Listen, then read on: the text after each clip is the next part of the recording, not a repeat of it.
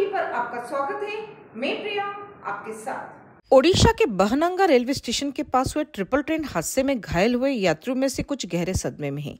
कोई नींद में चौक कर उठ जाता है, कोई अनायासी चीखने लगता है तो कुछ लोग हंसने लगते हैं, कुछ फूट फूट कर रोने लगते हैं, कुछ की नींद ही गायब है।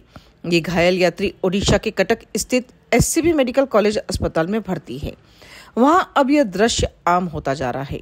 दरअसल ये लोग पोस्ट ट्रॉमेटिक स्ट्रेस डिसऑर्डर के शिकार हो गए हैं।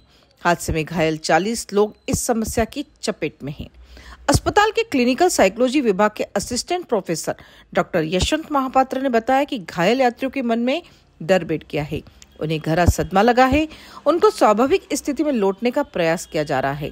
ऐसे हादसे में बचने वाले लोगों के दिमाग पर असर पड़ना स्वाभाविक है।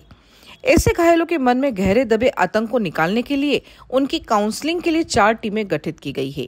ऐसी हर टीम में एक मनोचिकित्सक और एक मनोवैज्ञानिक के अलावा एक सामाजिक कार्यकर्ता और घायलों के एक या दो परिजनों को शामिल किया गया है। पीटीएसडी एक मानसिक स्वास्थ्य संबंधी डिसऑर्डर है, जो किसी ऐसी भयानक घटना की वजह से होता है जिसे व्यक्ति ने खुद अनुभव किया हो। इनमें सड़क या रेलवे हादसे के अलावा ऊंचाई से गिरना भीड़ में खो जाना या कहीं फंस जाना अब्यूज किए जाने जैसी परिस्थिति शामिल है। घटना के बीच जाने के बाद कई महीनों या सालों तक व्यक्ति उस अनुभव से उभर नहीं पाता है। इसके लक्षणों के फ्लैशबैक घटना से जुड़े सपने आना हाई एंजाइटी लेवल लगातार घटना के बारे में सोचना शामिल है। इसमें सामान्य जीवन मुश्किल हो जाता है। मनोवैज्ञानिकों के मुताबिक इस समस्या से पीड़ित व्यक्ति चिड़चिड़ा हो जाता है। इसी के साथ बने रहिए राजनामा टीवी के साथ। धन्यवाद।